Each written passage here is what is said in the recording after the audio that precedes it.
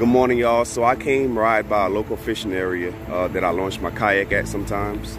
Actually planned on doing a little kayak fishing this morning, but I mainly wanted to check to see if we had any major fish kills.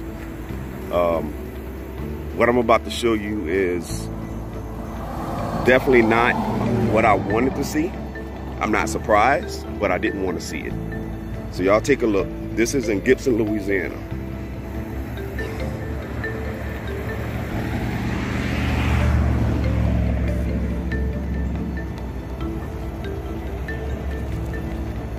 Bass, brim, mullet, cat, whatever swimming is floating.